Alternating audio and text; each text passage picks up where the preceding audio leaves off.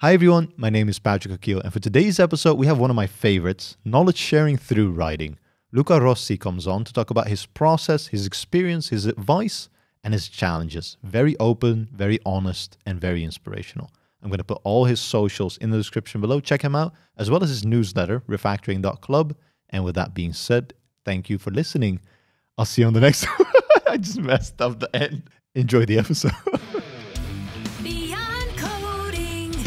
really look forward to a time where I have a I have a more flexible schedule. I feel like my fle- my schedule is really flexible as is, but yeah, I do have like a normal kind of work rhythm, and it's not like a nine to five. Yeah. Sometimes it's an eight four, sometimes it's a ten whatever. Or sometimes I do work in the evening, but most of the yeah. time, like it's pretty straightforward. Like I have a few asynchronous calls here and there, and then we work together as a team. So I want to be working when my team's working as well.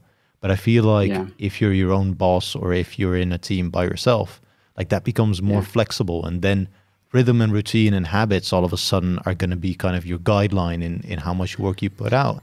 And it's much more yeah, it's true. It's true. It's true because this flexibility, I feel that uh, it is both a blessing and a curse. And yeah. this is something that I didn't really understand at the beginning. You know, I, I thought this would be 80% a blessing, right? while instead it's more 50 50 the way I think about it, because the fact that you don't have a team around you, you don't have, you know, a train of work that goes on even without you that carries you forward anyway, mm. uh, m- creates more friction, you know, between you and doing actual work. Because, yeah. you know, it, if you do not do any work, there is nobody else that you know acknowledges that that keeps you accountable for that.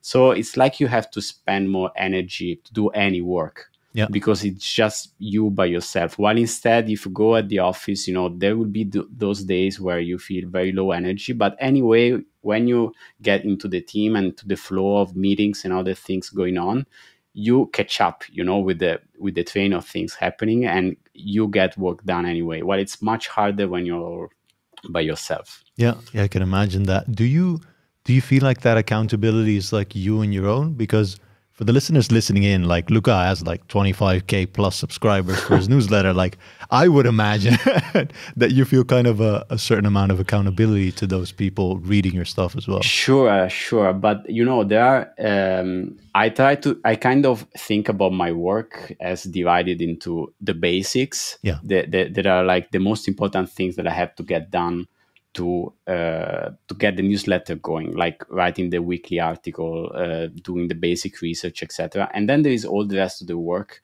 that is about, you know, maybe replying to people in the community, replying to tons of emails, go, m- going forward with the product that includes other things, etc.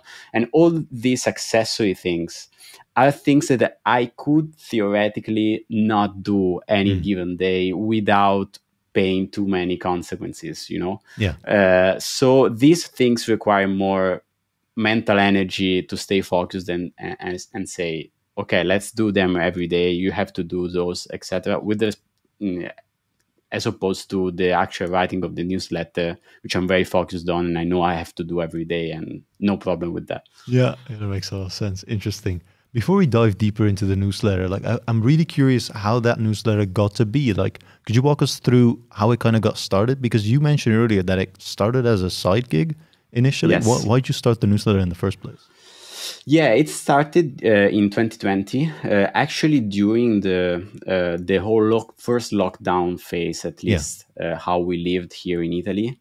Uh, we we really couldn't leave home, couldn't do many things, and also since my startup was in the travel space, so much of our activities pretty much stopped together with travel in the in the country, uh, and so I had instantly more time to do uh, other things as well. Uh, mm. And I started reflecting uh, on on my journey, on things that I had learned as a CTO uh, at my startup for about ten years, and so starting to write more write down more thoughts that I that I used to. and I was already a big reader of all the newsletters, so I, I did most of my reading reading through newsletters anyway. so I thought it could be a nice idea to publish uh, to, to get some of these thoughts out in public and get feedback from people and start some nice conversations. So the, this yeah. was really the main motivation, you know, to get more exchange even with people. Uh, and then late that year in September, after I had lined up something like three or four articles in draft, uh, I started doing that at first bi-weekly and then and then weekly. Uh, yeah. writing about things that I had learned over over the years as a CTO a small to mid-sized startup, uh, and then it grew very fast and and uh, you know above my my own expectations uh, and yeah totally. I'm really happy that's really it. cool man. That's really cool. I like that. So it's the same it's similar for me doing the podcast that i already had been listening to a lot of podcasts and i could see myself doing this. And then when there yeah. was an opportunity like i jumped on it. And for you with writing like if you already follow those newsletters and you enjoy reading them and you have your own thoughts and you don't really see them represented in there somewhere then I can see that yeah. inkling growing stronger and stronger until opportunity hits when you can jump on that as well. When it comes yeah, to totally. those newsletters that you were following, who was like a real big inspiration for you back in the day or even still? I can tell you that I was already uh, paying for some of them, uh, even mm. though, you know, back in 2020, it was still a very unusual thing to be paying yeah. for newsletters because Substack was just, uh, had started, I think, maybe one year before, not more than that.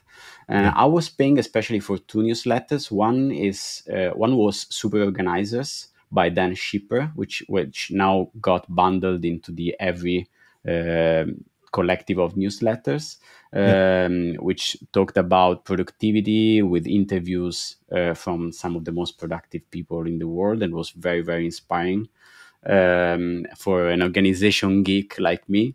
Uh, yeah. and uh, and another one was Lenny's newsletter, definitely. Uh, that is still a huge source of inspiration, and it's still it's about product management. I mean, for those who don't know, it is probably the most popular newsletter uh, in in the business space uh, in Substack, and I maybe in the world. I don't know, one of the most for sure. Yeah. and it was a huge inspiration directly for for starting my own because I thought about product manager as product management as a very close space to what I mm. was going to write about. So I took a lot of inspiration about the format, about the the style. Uh, I love what Lenny does, and uh, I told him many times. I mean, huge inspiration for starting my work. That's really cool. That's really cool. What I was wondering is because at some point you decided to start this newsletter, right? And at some yes. point it also hit critical mass where you were like, all right, I'm going to do this full time. Can you walk me yeah. through kind of your train of thought when that happened and what were those decisions in there? Like, what was kind of a few fears that you yeah. had doing this full time? It was kind of a, combination of things coming together. Um, one was, as you mentioned, for sure, getting some critical mass. I, I think it was around 10,000 subscribers that I wow. uh, decided to uh, leave my job and doing doing this full time and launching the paid tier of the newsletter. Mm. Uh, but honestly, it wasn't just that because um, if it was for critical mass, I think I could have launched the paid tier uh, even earlier. You know, when I was like at four or five thousand subscribers. Uh, it isn't much about the number of subscribers you uh, you, you have, yeah. um, it, because anyway it, it is more about the maturity of your i think of your workflow the confidence you have that you can keep this going week after week and the fact that you are confident that the quality of your material will drive people to pay for it yeah. Um, so this was both a combination of reaching this mass and also the fact that I had kind of completed a big bunch of relevant work in my past work. So I was more confident that I would leave because uh, it was the right time uh, I could hand off my work in a way that was uh, reasonable and comfortable for, for, the rest of my team. Yeah. Uh, and I could do this full time. And it all came up together quite nicely. And I was happy about that moment. That was hard for imagine. me to think about. Yeah. Yeah, that's that's really cool. But 10K is a bigger number than I expected. Like initially, I would have expected like a few K, maybe even yeah. five as a max. But 10K, yeah. how, how did people find you in the first place? Like, how do people find you in general? Yeah, you have to think that I started with very, very little network of my own. Yeah. So I didn't have a Twitter following. I had maybe like 150 Twitter followers that were mostly like dead accounts for many years before, uh, and few people on LinkedIn. So yes, of course, maybe the first hundred followers were kind of you know network, colleagues, friends, friends of friends but then after that, uh, I didn't really have a network of my own. So mm. for uh, as a first, I started to um, join and and getting involved in many communities where I thought I could find people who are interested in my writing. Uh, of course, without you know plugging directly my content all the time like a psychopath but try, trying to be helpful first you know answering people directly providing value in in comments and and direct chat uh, and then possibly you know when when it made the most sense linking back to articles that i thought could be helpful for people who asked something specific. Yeah. Uh, so trying to minimize, you know, getting banned uh, into, into, these communities. uh, and the, but this was really helpful because aside from growth from the newsletter, it also uh, helped me make many friends and many people who uh, with whom I did more things, uh, you know, over time. Yeah. Um, and then word of mouth got bigger and bigger anyway. So number of people who share the newsletter. Uh, I also started doing some paid ads, especially on Twitter, uh, which worked very well. So overall, I would say it was combination of things. So communities, organic growth, and paid ads. About you know one third, one third, one third. Okay, interesting. I like that you interacting in the community. Right, a lot of people just really have a goal of like broadcasting whatever they have but if you yeah. want to do it effectively, you want to add value, right? So finding the right people, asking the right questions, and then sure, you might have written about like the thing you think is valuable for them. That then is coincidence, right? Because if it's really of high quality, then it will bring yeah. them value. Yeah, totally. And I think it uh, it was also, you know, in retrospect, very important because it gave me the opportunity to build kind of a feedback loop about mm. my writing. Because audio, otherwise, you don't have really many ways of figuring out if people like what you write, yeah. uh, or whether you know they would like you to cover something else. Uh, so at the beginning, talking with many people in the community and also talking with people that were early uh, subscribers of the newsletters. I connected with them over LinkedIn. I mean, I reached out to them one one by one. Yeah. Uh, asking for feedback or or other topics they would love to to hear uh, about because they they were about challenges at their work or something like that really helped me uh, figuring out what was working, what was not, especially because at the beginning I I wasn't I hadn't very clear in my mind what had to be the scope of this newsletter. So yeah. it was pretty much a thing that uh, came into shape over time. Yeah. How did you because a lot of people talk about finding your niche, right? A very specific yeah. subset that is also going to resonate with your audience, a topic or yeah. like at least a certain amount of focus in the content that you create. It's one of the yeah. many things that I've thought about in creating this podcast, and I'm I'm very sure it was similar in creating your newsletter. Like, how did you find yeah. either your topic or topics, or what is your thought on that? Yeah. Uh, at the beginning, I really obsessed over this. Mm. Uh, I, am a guy who tends to plan uh, pretty much things, you know, that that I try to achieve, my projects. So to to an extent that is probably too much right so at the beginning as an engineer probably uh, so at the, at the beginning I, I really thought about w- what are the things that i'm most knowledgeable about where i could can write bring the most value uh, but i think in the end this was not very you know very useful as a train mm. of thoughts because um, as a, if you think at at a, at a newsletter or a podcast or whatever you know creator uh, activity as a regular you know business or startup thing uh, you know that these activities have risks right and so you have to uh, diffuse the biggest risks that you can f- that would make you fail about yeah. what you do and i think the risk of uh, not finding your niche, you know, of or the risk of writing about something that is uninteresting to people is for most people uh, way um, more, you know, less problematic than the risk of not being able to uh, show up every week and being able to write something uh, twice a week or once a week, but anyway in a consistent way. Because that's the most important thing for for growing something that is based on content. So showing up and having something to say and writing about it uh, every week. So the advice i would give you know to myself and also to somebody who's starting something similar is just go with the topic or style of content type of content that um, you are the most comfortable writing about and you can see yourself uh, writing or creating videos or anything like that uh, for the longest time uh, because you enjoy it because uh, you know about it. But it's always a combination of these things you know. If you write about something that you know about but you despise it will not work uh, or in the long run uh, and the opposite uh, is true as well. But yeah. try to optimize for that rather than figuring out where your niche should live or should be yeah, yeah, I, I love that advice. I think early on, I also focused on kind of my vision of what I thought my audience would be.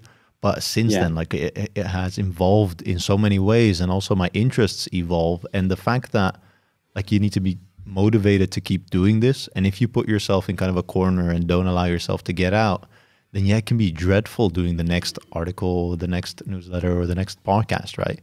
Because you yes. put those shackles on yourself. Well, if you have exactly. creative freedom and you don't really care about like your niche or your audience, and you just imagine that if you enjoy it, that your audience might as well.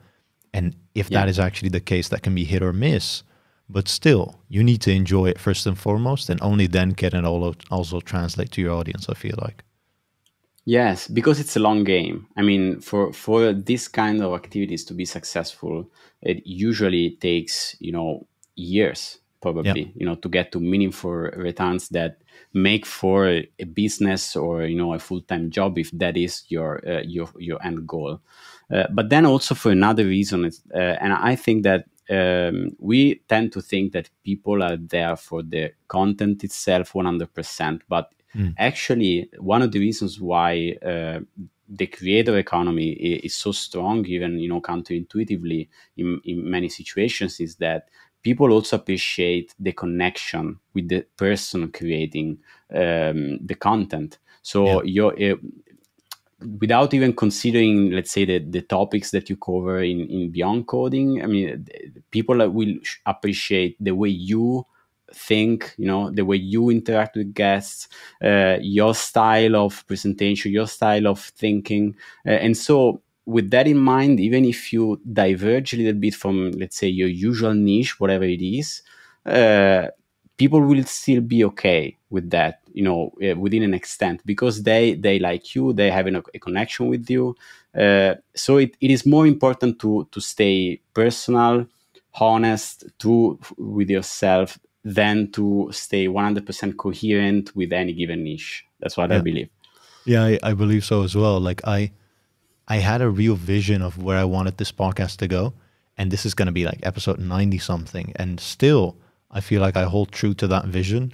And I have like questioned it because I, I put up a poll recently, for example, on my YouTube where I was like, okay, I'm thinking of things to improve the quality of the show. And this is one of the options. It's some feedback I got from a random person on LinkedIn. They said shorter episodes might be better. Uh, if you edit them, it might be a bit more snappy.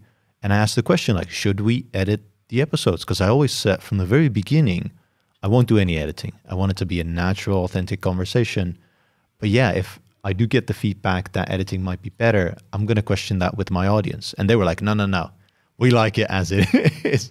like, that's not really. And they had other ideas, which I'm considering now, which is really cool that you can have a community of your own and a dialogue about the thing that you're creating and yeah. even feedback, the thing you touched upon earlier, some people are going to give you feedback and you're going to be like, "Hot, oh, that I'm going to take with me and I'm going to incorporate." And, on, yeah. and on the other end, you can get feedback and you can be like, "Well, this is just this is not my vision, so this is not what we're going to do in this case." Yeah, and I think being able to tie the, the, the feedback that you receive to a vision is so important because yeah. otherwise, you know, just listening to feedback without that uh, overarching vision in, in the first place. Uh, leads can lead you to, to, you know to suboptimal places because you can never you know trust uh, feedback as it is you know for what it is because it's tricky you know. You might have like a vo- very vocal minority small minority of people that advocating for something you know but they're but they are a very small minority with respect to the to the the whole of your of your audience. Yeah. Uh, but it feels to you like something that becomes super important because there are like these ten people who ask you for that all the time, uh, and that's where and that's where maybe they're right, right, or maybe they're wrong, and that's yeah. where you have to mm, compare that to your vision, if that is coherent with that, if that is where you want to go. Uh, in that uh, in that way, feedback becomes useful, but not if you take it as face value all the time without thinking about the, the overarching strategy. Yeah, I like that. I mean, I've I've gotten feedback and I've incorporated that, and it, it will always stick with me. Where someone said something, I'm like, huh, that's a great mm, point. Like yeah. from now on, we're going to change that. Have you had that as well in the feedback that you've gotten? Like, what is a piece of advice or feedback that has always stuck with you?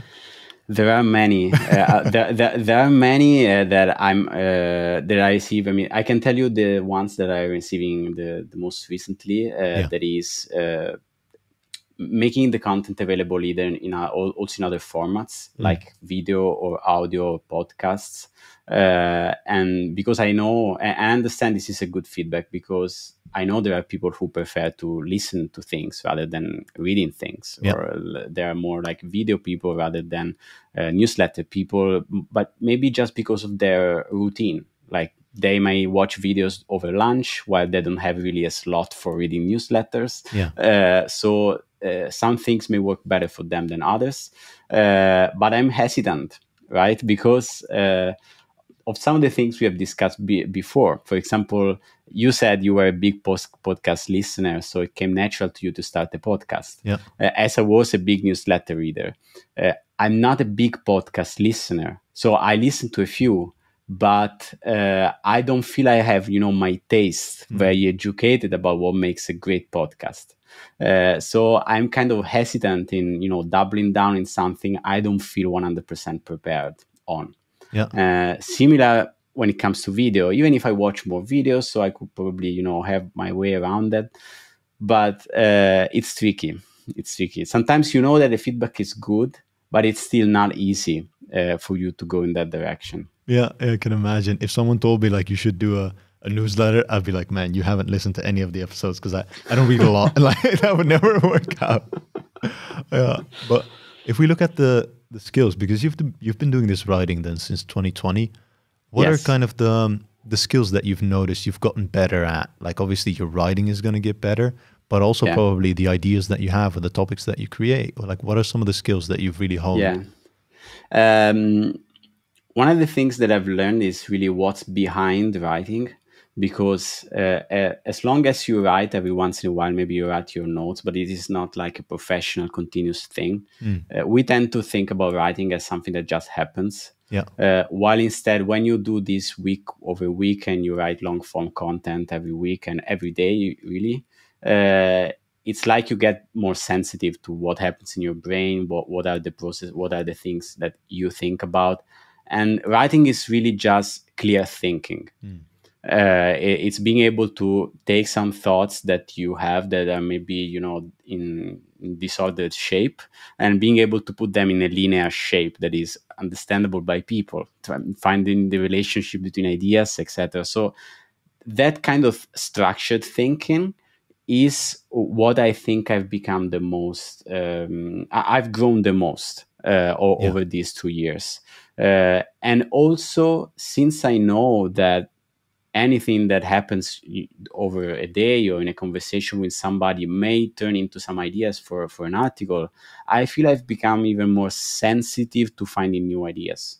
Um, so, one of my concerns at the beginning was that I would run out of content, yeah. run out of ideas because I would run out of my whole, my my skills and knowledge that I could reasonably talked about, right? Uh, while instead the opposite happened. I mean, I, I, have more ideas now than when I started, but just because um, it's like ideas were all around me all the time, but I I was not that sensitive, you know, to to to figure out that this particular thing could be something that I could take and write an article about. Interesting. I, I love where you closed off that you said like the ideas were already there and you've yes. trained yourself or like with writing the skills have developed in such a way that you see those more right you see the opportunities and the ideas all of a sudden come to life or they're more clear than ever to write about yes. and i think that's a really cool skill uh, do you think Thank you. in do you think a lot of engineers would benefit from writing in a way for themselves as well or like as a form of knowledge sharing like you're doing definitely definitely i mean uh, this whole refactoring thing, I mean, this whole uh, activity of mine would have been would have been successful to me, even though it uh, it was not successful as a business, mm. uh, because the the um, the way it um, fueled my personal growth.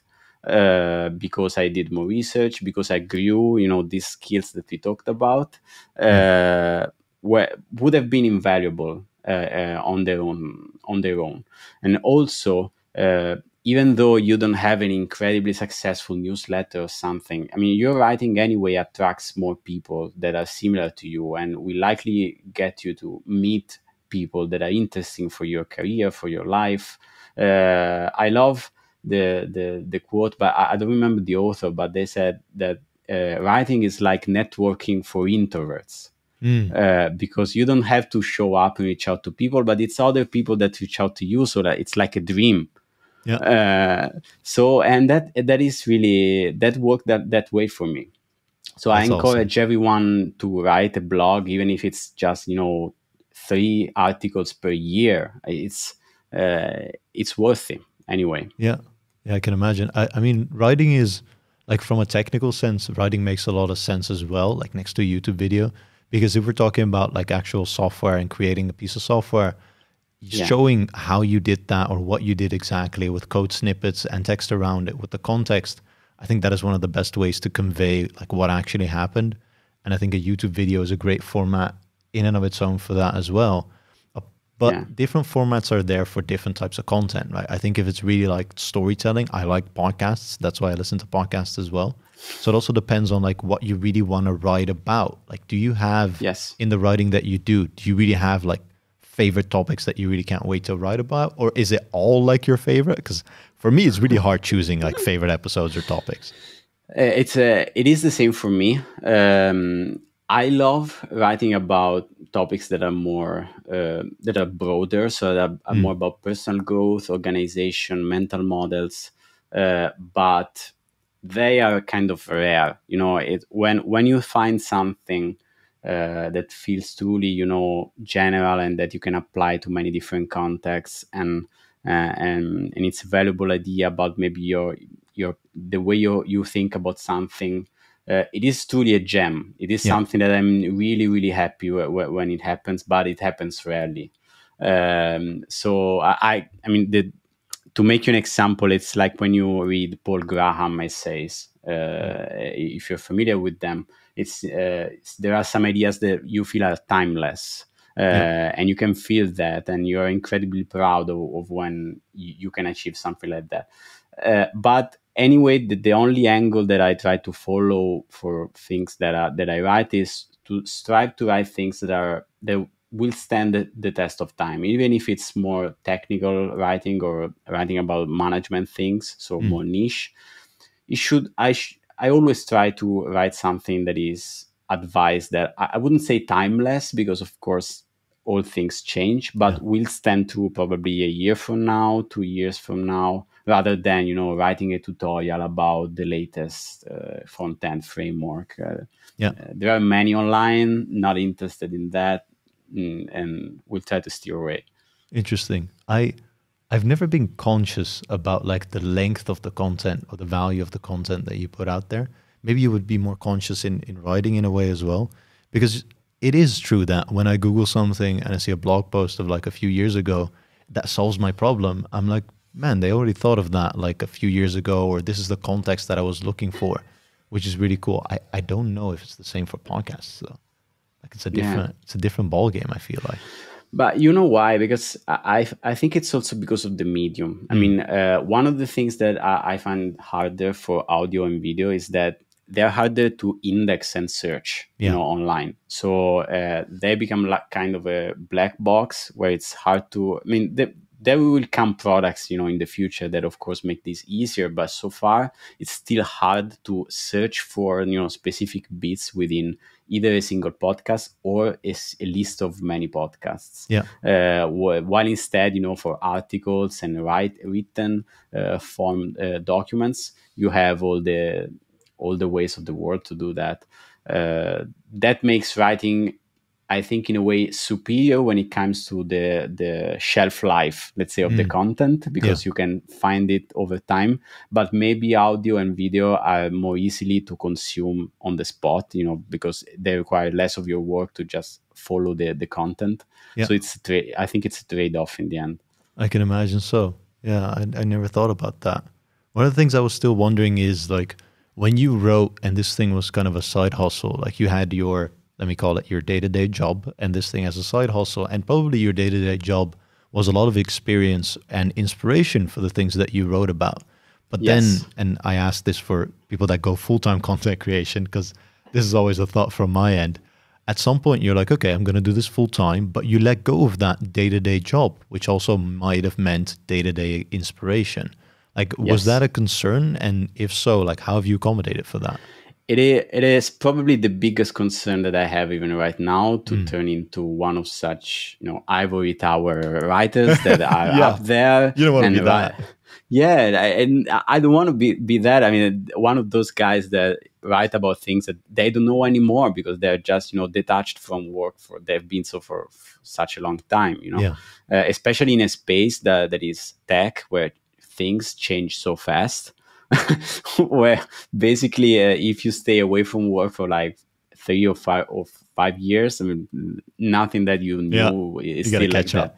Yeah, you gotta catch up. So, uh, I mean, the way I'm I'm dealing with this is uh, two ways. I mean, one is I, I try to allocate like 10% of my time to 20% of my time in doing some small consultancy to companies that uh, that I know that I like about nice. topics that are close to what I write about. Yeah. You know, to keep myself grounded, to stay close to uh, real world problems even though I know it's not, you know, the best use of my time when it comes to, you know, leverage, when mm. it comes to being coherent with making the newsletter grow. But I think long term is uh, is wise, or at least I I hope it is. Yeah. Uh, and the other thing is uh, talking with as many people as possible who instead have a very practical, hands-on experience about work. Yeah. Uh, interviewing people, embedding in my articles experience from other people who I ask about. You know, uh, the newsletter has a community as well, for example, mm. and I anticipate there the articles that I will write and people can uh, join, basically uh, answer with their own ideas, their own insights, and I quote the authors in the in the newsletter, yeah. so that I stay somewhat somewhat close to the to real world experience, uh, even though I, I cannot make uh, much of my own anymore. Yeah, that makes a lot of sense. What I wonder is because for me, podcasting, like I've done two Q and A episodes actually nowadays, but that were two episodes out of 90 where it's just me and the camera, and obviously I have questions which I answer from the audience. But I always have like a counterpart, always a, a person to bounce ideas off of or have a train of thought with. But for writing, I feel like I don't know if you are always like kind of solo ish, or do you also have like that collaboration aspect with other writers or even like your audience in that way? This is also such a good question. Uh, I mean, you have lined up very good questions. I mean, the, the, the last ones about so my, uh, they're, they're really they're really the, my actual concerns that I'm thinking about right now. So uh, another thing that I, that I'm worried is that uh, if I focus too much on my solo writing, I mean, as much of a you know brilliant writer I might ever be, it will all, all only be my single perspective about things. You know, my, my perspective is limited, especially because many of the things uh, that I write about, like management, uh, themes, and topics, don't have a one size fits all solution. So I, I, might have seen something that worked in my case, but it might not work in somebody other case, and it's hard to synthesize some general rules that work for everybody. So yes, I try to involve other writers, and in part, uh, this is what I'm trying to do, as, as I told you, with the community uh, in a small scale in a way so that there are many people who answer to the upcoming topic of the newsletter telling them t- telling me what are they be- the best ideas about that and i embed them but mm. this is still a small scale because i'm still the curator of all of this uh, yeah. but I, i'm trying also to open up a little bit and write articles together with other leaders or bring uh, you know skill skilled leaders and writers that i know and trust to write about something specific that maybe I'm not much experienced about. So so to turn the newsletter eventually into uh, something that uh, instead of being just myself writing is a collective of gifted writers that can each uh, bring their own piece of experience to that i like that a lot like that diversifies the perspective and probably also challenge your thought process which in the end makes yes. the content of, of higher quality and, and better right in in a way which i think is really interesting yes. one of the yes. final thoughts i had was more so about your writing process because you already mentioned like as you write more and more and more, like you become more apt at finding ideas and actualizing on those. But what is really your writing process? Like when you think of ideas, do you pick up a pen and, and like make a note or do you write a piece and like stash it away for later? Because if if I would do that now, like even my notes that I take now have been a mess until like a few months ago where I was like, okay, I need to organize this because this is a yeah. like an organism going out of control.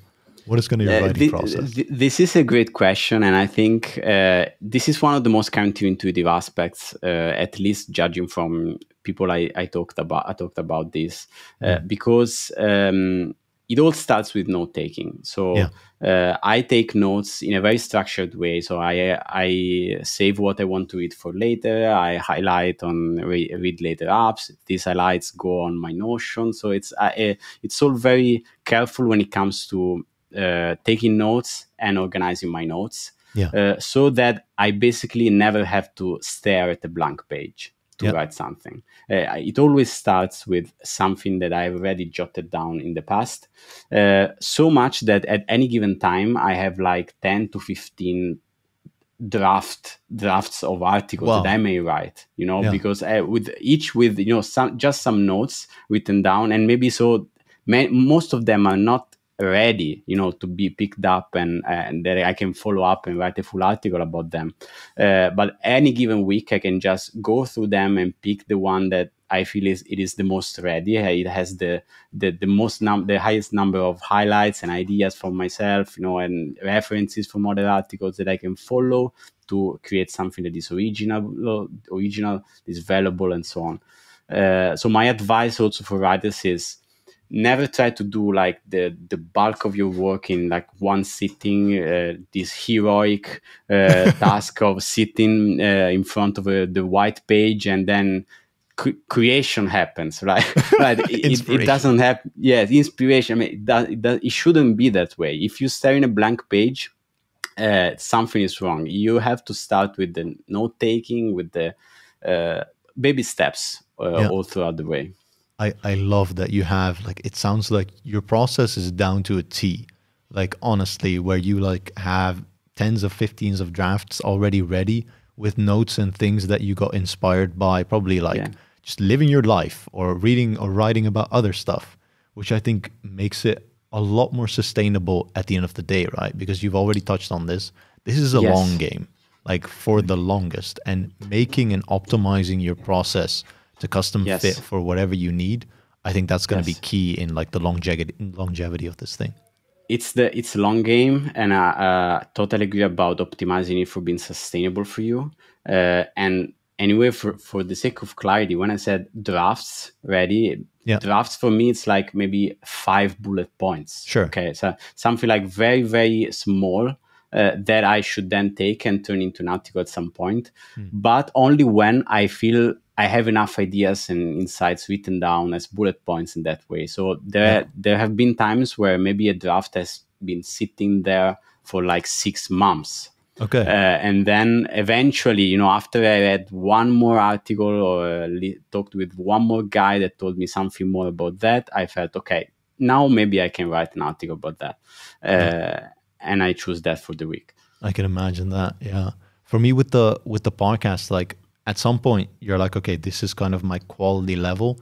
And as yes. you write more stuff or as you create more content, the quality level you also want to increase that. Have you had yes. like an idea of the quality level that you want to have? And even so, in releasing, have you at some point have been like, okay, I need to put out something, and I know this is like either on the level or maybe even below or just above, but I really want yeah. to put that out for consistency's sake because I've absolutely had that quality quality is one of the things that um, when my mind is the way I think about it, it, it has changed the most over time because mm. I, I'm I'm a perfectionist, you know, by nature. If I follow, you know, my own uh, feelings and desires, I, I would spend like uh, forever to, to write a single piece. yeah. Uh, and while and and it, I did so at the beginning when I told you that I, I lined up like three to four articles be, mm, to have them ready before the start of the newsletter. It, it took like four months to write to, to write yeah. them. Uh, but then I think that the, the, the the accountability of having to be consistent and publish a newsletter every week really cures that because you begin to accept that uh, it's there is not a, like a level of quality that is absolute but it is more about uh, what you can produce in a week mm. uh, that, that that that is you know your level of quality and you try to do baby steps to increase that over time yeah. i mean i'm not going to tell you like many do like uh, every article that you write, you have to think it's the best article you ever written, otherwise it doesn't make sense. No, uh, it's not like that. I mean, let, us be serious. I mean, there, yeah. there, are articles that you think like there will be some uh, uh, among the best you've written, and others that you think this is good, but this is the best I got this week. Yeah. Uh, you know, for my energy, uh, there are better weeks and worse weeks. But if you have the process down, uh, and if you are, you know, if you trust uh, your workflow, you will never go below some quality anyway. Yeah. That that that is what you should assure. That you know you you have stroke of inspiration that makes an article maybe three times better than another one, but uh, the workflow and the process is what makes uh, the the baseline level of quality that you never uh, go below. I love that, and I love the honesty. Honestly, when people say like this is the best one we've had, uh, that is my hope which each and every episode obviously we strive to be and and strive to be better and improve but yeah topics differ uh, it's a moment oh that's i was going to say something very dutch but it's a time in in I don't know how you say that in English, even. Like, it's a time and a place, I guess. Uh, yes, momentopname yes. for the Dutch listeners. but in any case, it's a snapshot of time. That's that's the thing I was looking for, and that's going to yes. be different. The next time I'm going to have a similar conversation with some other person like there's going to be similarities but it will be very different. Even you and yes. i if we would do this conversation in a week after we might not hit all the points we hit and it would have a different flow and a different cadence in a way as well. Yes. And that also uh, makes the, it interesting all, i think. this all comes back to to the fact that this is a long game. Yeah. So you have to optimize for your own uh, comfort so for it to be sustainable. So there are times where you have to go easier on yourself because maybe you're more tired maybe uh, you had a bad week for other reasons. And uh, when it comes to this you know uh, knowledge work creative work uh, it all affects your performance let's say. I mean, yeah. if you slept badly or you know if you have concerns uh, that are related to your family or to your loved one or to other things it all goes into the work into your work.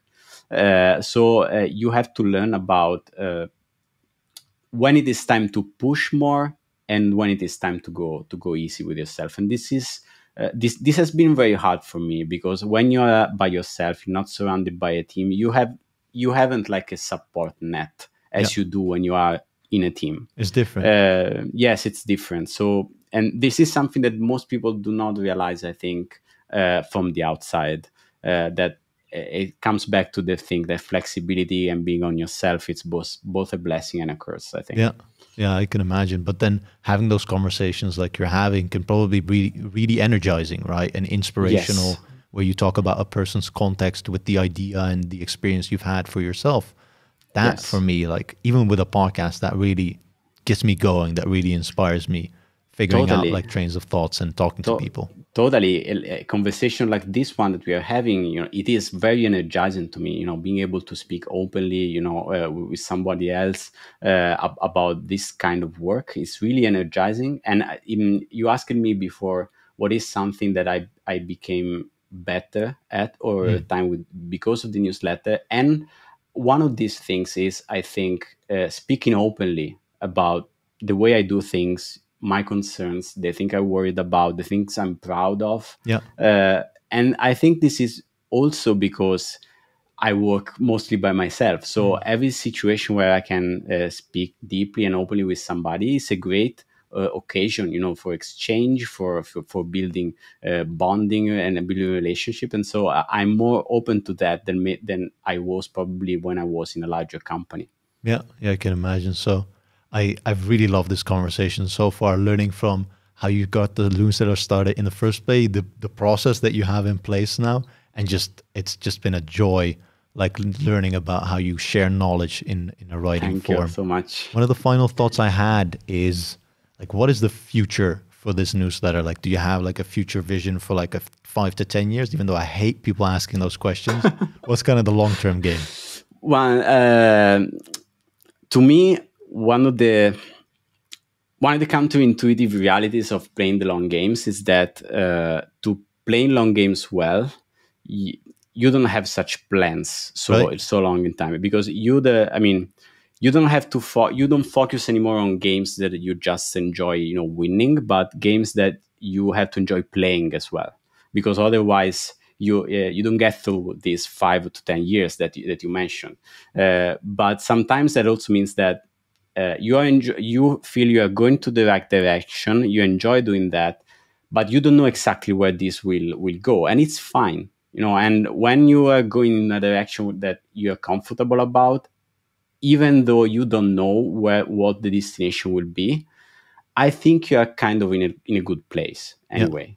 Uh, so transparently i can tell you i don't have like a final goal uh, with this i think this is good for me right now because uh, of the way it affects my skills my relationships uh, it is sustainable for me financially uh, so so far so good.